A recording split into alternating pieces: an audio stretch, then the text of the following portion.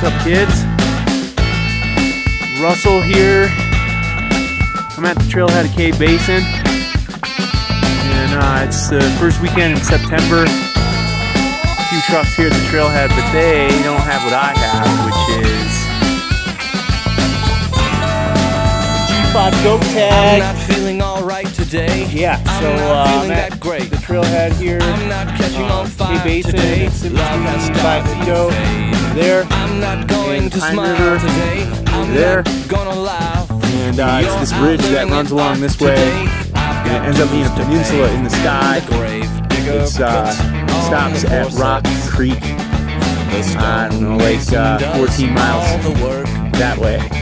There's a ridge that kind of runs this whole way. And uh, I'm going on a vision quest right now. This is uh, this is my setup. I've got a Kelty, uh, a brand new Kelty pack.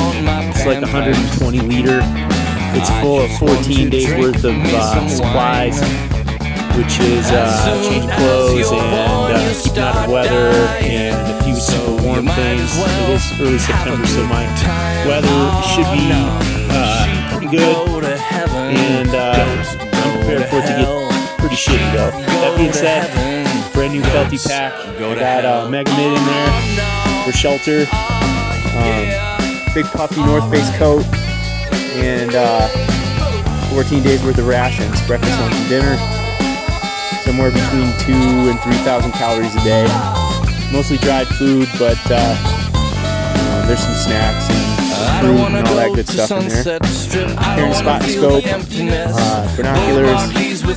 I got rain gear on, uh, on this side access pouch. I've got um, spot, emergency device on the other access pouch, maps, and uh, headlamp, and all that stuff at the top. There's my Lytera Alien, made by the folks at Martin. Got a new pair of boots. I got them uh, a size and a half too big. These are Oboz. They usually go through boots.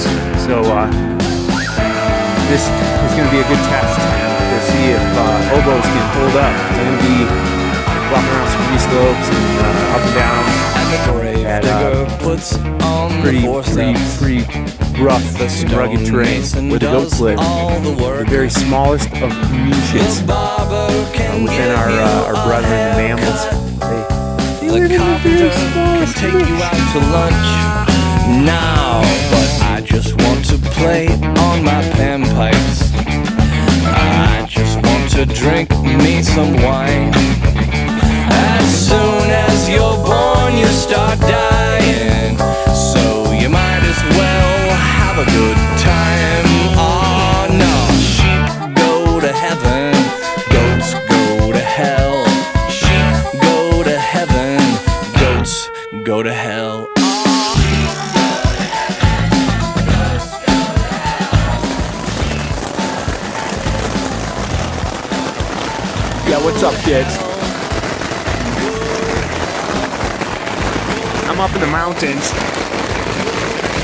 goat hunt.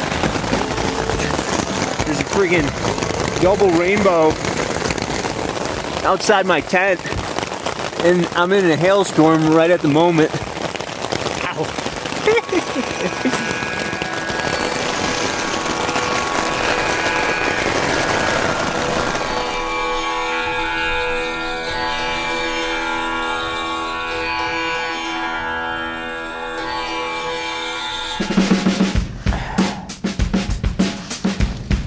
Hanging out here in a bit of a thunderstorm, rainstorm on the Mountain View crest side of uh, Chicago Basin. Just, uh, I think it's gonna be a long night of storming. Yeah.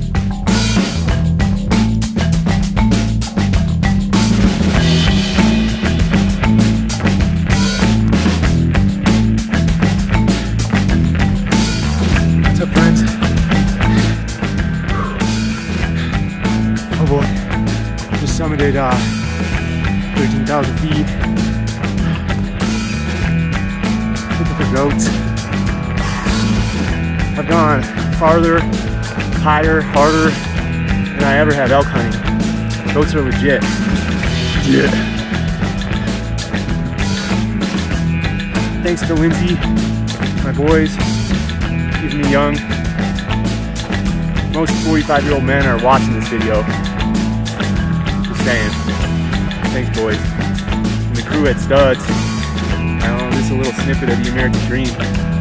Thank you guys for holding it down, keeping each other employed. It's pretty fun to think about. I'm gonna do for the next couple hours while I'm scouting these hills over here, staging another hunt for another day. I brought my bow and stuff, but uh, there's no goats right here. Day whatever, time in September 2022. Walking this ridge. How you like that? This is where the goats live. Fortunately, I don't see any. Thanks for watching.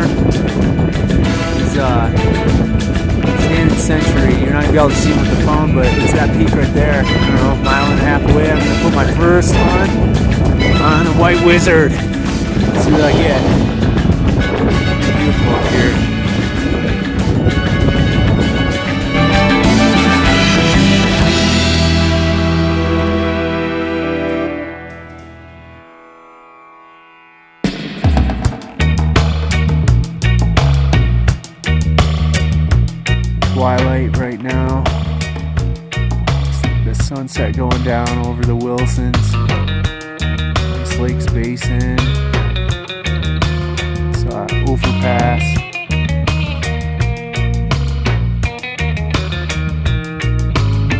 Be over towards Engineer, Bear Mountain, Kendall.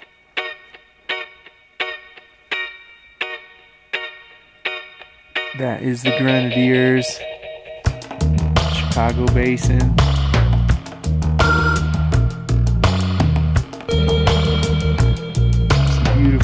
Beautiful, place to be right now. 13,000. I'm actually hanging out with the goat. He's on the other side of that peak right there. Duh. Yeah. Cheers.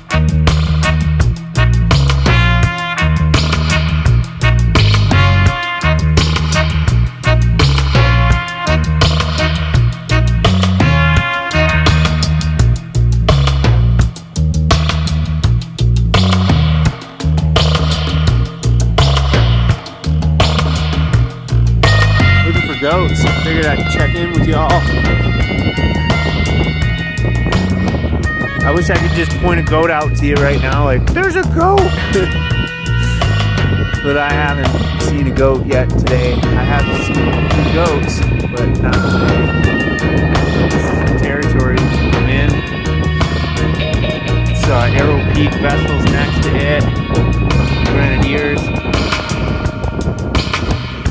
Pigeon, the sky, the skyline for Chicago Basin's back there. The uh, the needles, engineer.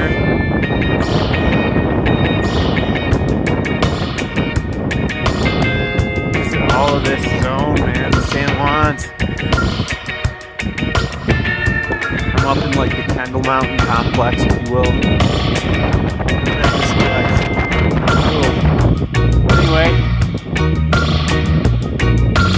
I'll let you know if I find a goat. If you do, give me a call.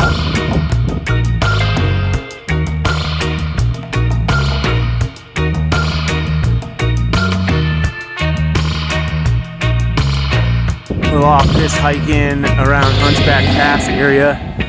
That would be Guardian, Silex. On the the other side of this ridge here is uh, Vallecito Lake, Nebo Creek, Mount Nebo, Irving, Oso. This is the Rio Grande drainage over here. Like not so jagged. This is like this crack in the earth. Really freaking violent over here.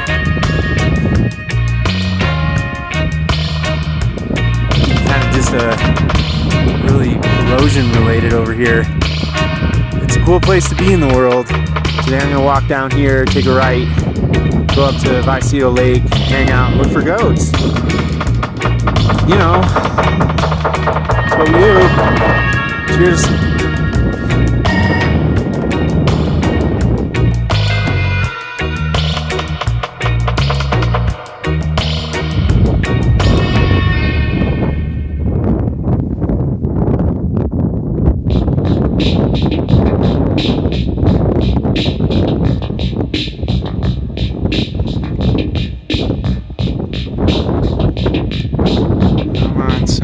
Unnamed peak or a little outcrop here. The headwaters of the Vallecito. It's Nebo. Sunlight. Leviathan. The Guardian. Silex. And that's where I think the Vestal and Peak 1, 2, and 3 start. But yeah, this place is pretty rad. So, the Vallecito Lake is up this drainage over here. I'm gonna go see that tomorrow. That's where I came from was the Vallecito Trail, which is essentially Nebo Creek. Yeah, we're we're freaking up here, folks.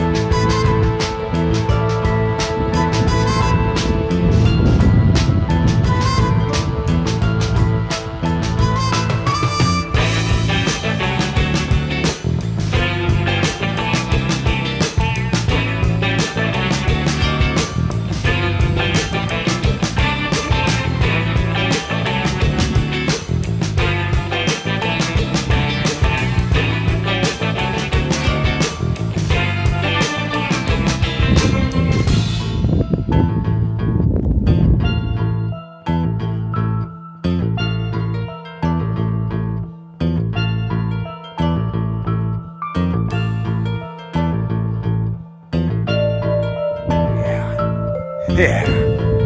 Here it is, boys. Vallecito Lake. The real one.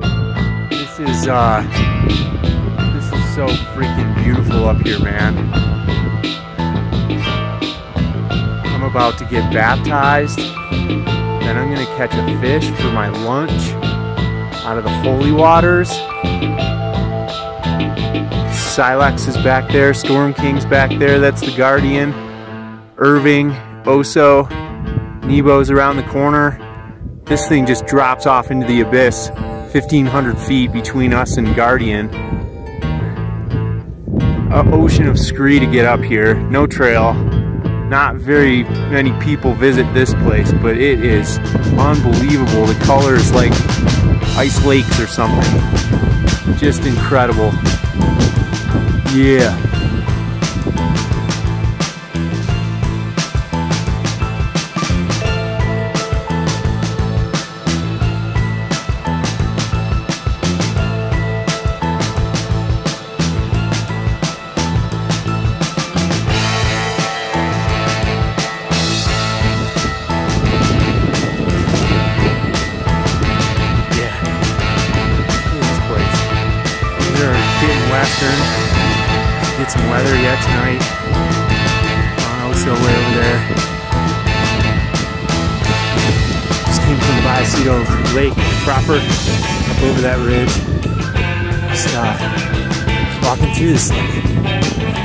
Glaciated, sculpted landscape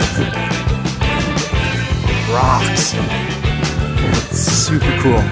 Hallways, little slot canyons of glaciated rock. And uh, right over this bridge is just another mile and a half of these. Jump up here. Get that way. Silex, the Guardian, Irving.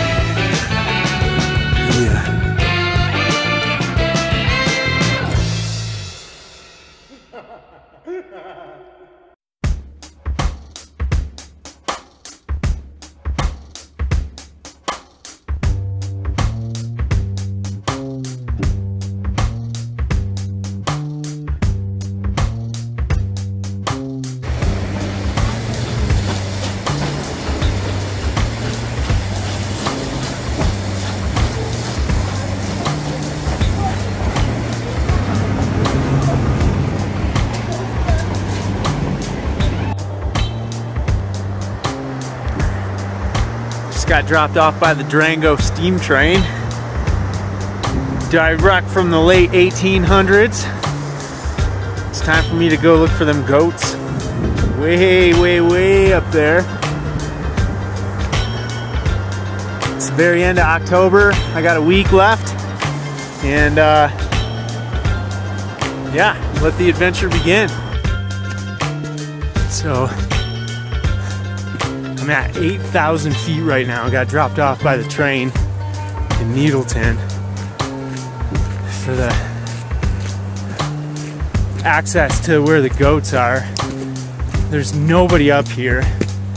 Late October, no footprints. It's terrible weather the last week or so, but uh, yeah, looks like I'm gonna be the only one in Needleton. How often does that happen? So. I got 5,000 vertical feet to go. So 8,000, 8,001, 8,002, 8,000, here we go.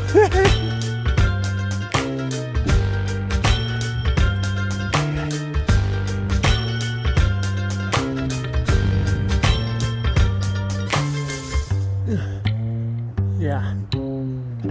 My camp is way down there. Saw some goats up on this north facing cliff two ridges over. And so it's during the day so we got upslope up valley wind. I'm pummeling up this hill gonna get higher than them and then crisscross around the top of them. Maybe they moved up maybe they moved down but hopefully I'll be on top of them.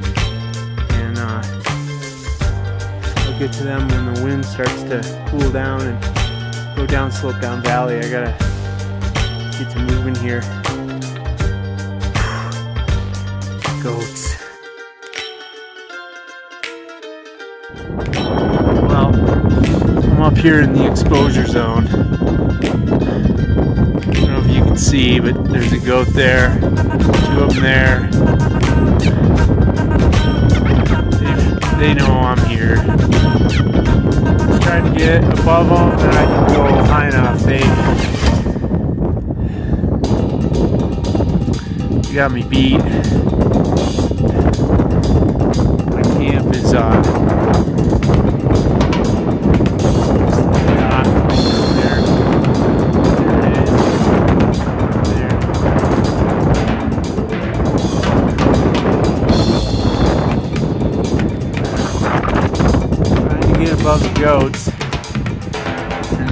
freaking got above me. There they are.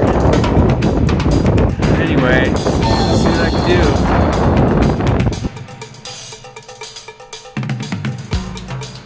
Alright, amigos.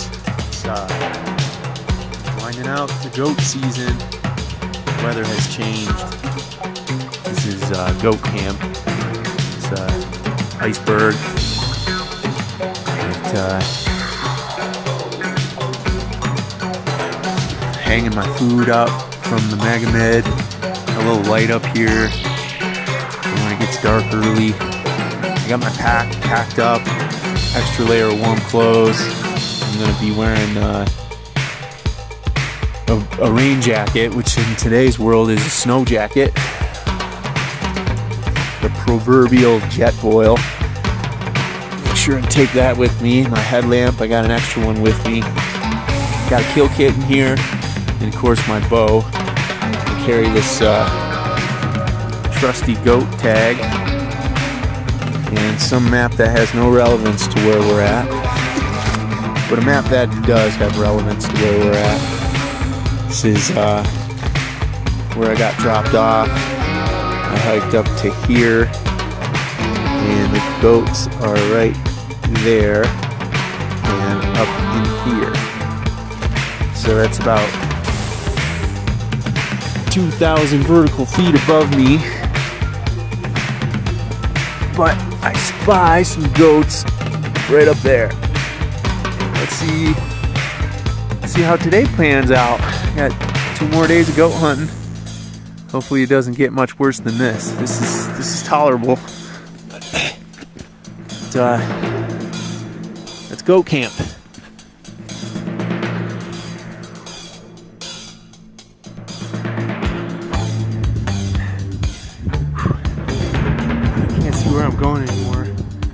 Visibility is like a quarter of a mile. I wasn't counting on that, but I know that's the top. Above those goats, I showed you from camp, which are to be the same level as I am, like right at tree line. And uh, the wind's mostly good. They don't know I'm coming. If I can only see them, because I only get a quarter of a mile or so. Dig. Yeah. Woo. This was the arrow that missed. I shot from those cliffs up there. Oh, check it out. Just never mind all this. There's the Billy. Right there. I got him, mama. Woo! Yes. All right, well, time to go to work.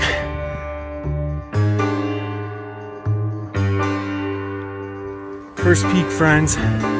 This dude went cliff diving from up above that second tree. Way, way up there. I don't know where he landed because he jumped off the cliff, but real clean kill. No pain in his world. He just fell asleep.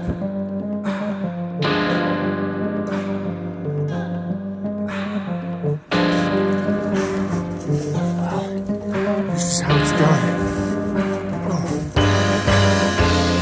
Go from them cliffs up there.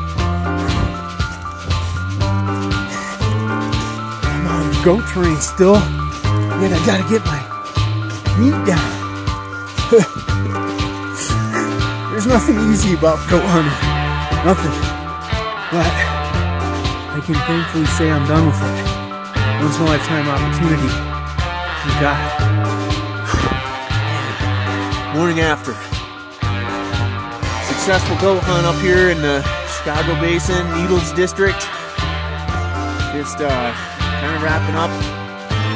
Wrapping my mind around what I got to do today. I got six hours to get my stuff packed up, and uh, it's about somewhere between six and eight miles down. Thankfully, down on a good trail to uh, to where I'm gonna catch the train. And that song, that song's coming. You're gonna get to hear the song. All right, so snowed last night. It was a rough night sleeping. It was freaking windy and cold. Oh, it's still snowing. yeah. hung hung my stuff up over there. That's that's where it came from. That's where the adventure ended. At least the hunting adventure. I got my work cut out for me today. I'm the only one back up here in the Needles district. Chicago Basin, nobody, not not anyone back up here besides the goats and me. I didn't see any footprints in the snow, no chirps of chipmunks. It's, uh, it's vacant. Winter is here, and all the animals have left except for the white wizard, the shaggy ghost. Cheers. So hey, I'm gonna tell you guys real quick about the story because it was uh, my video didn't do a very good job. It was so windy in that little cove that I was in that you couldn't hear anything I was saying anyway. But uh, I took a video of where you can see that pretty tall. I mean, there's the tallest tree up there, and uh, zoom in here. That tallest tree there is where I came in on them, and I came down to basically that tree right above them, or those those two trees right there, right there and right there. And I met those goats here, and I shot from up there down to that ledge. And that goat that I shot was here, and he basically cliff jumped off of that thing and landed down here. So the story goes my plan was to get above the goats, which I did. Take advantage of the wind, which was blowing up the valley, up the hill, and uh, freaking ghosted down on top of the goats. And I was having a real hard time finding them because they were up underneath the ledges, up underneath the cliffs. But I finally spotted some fur through some of the little cracks in the rocks as I was going working my way down on top of these goats, which I thought busted me again and walked off, but lucky I didn't. But here's where it gets cool. I have a bow tag, I have a kill tag, and I know that uh, taking a nanny is a detrimental thing for the herd, and I didn't want to do that. And uh, the the kid mortality is quite high, and I was really debating and contemplating on taking a kid goat, little little guy, yearling, and uh, there was a nanny and a kid. They measured 67, almost 70 yards below me, but it shot like 47 because it was straight down. So in archery, that distance, the, the horizontal distance, is what really matters as gravity affects the arrow. Instead of it being 70 yards away, it acted like it was 47. And so I drew back my bow and I peeked up over the ledge and there was a billy goat mounting the nanny. Yeah. Randy. I saw it. I saw it happen. It's so rare. So I didn't really know what to do besides stay at full draw. Billy, that that whole scenario takes seconds. It walked a little bit off, and uh, the billy walked a little bit off and, and, and stood up on a rock.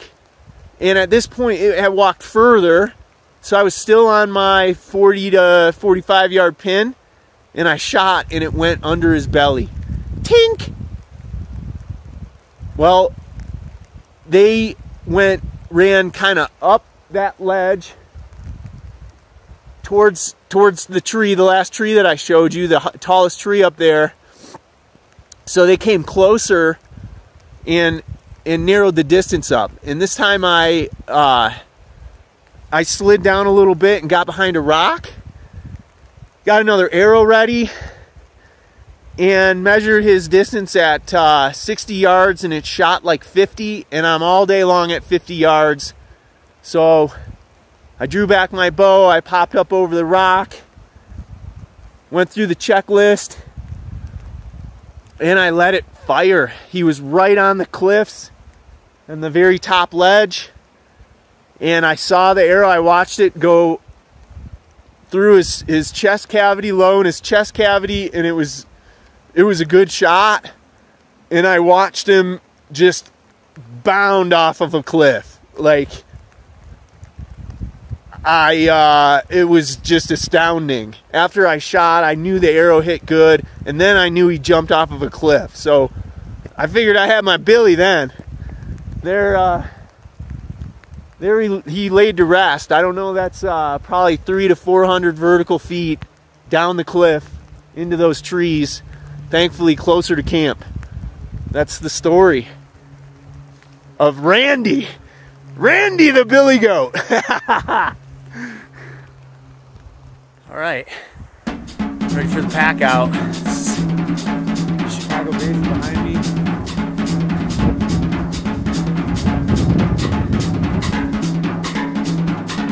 Where we're going, way in the heck and heck down there. Six, six, seven, eight miles. That's uh, the hide. The meat bags are at the bottom, and all my all my tent camping, goat hunting gears up in the top. Just walk out.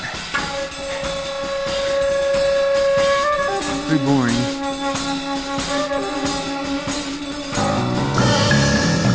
Trudging through. The snow's starting to dissipate. It's like a foot deep up there.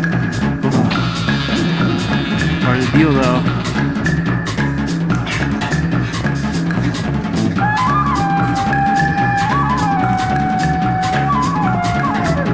Ten thousand, nine thousand nine hundred ninety-eight, nine thousand nine hundred ninety-six. I'm making good time. I'm almost there. Woo, woo. You're gonna get to hear the song. Pack out.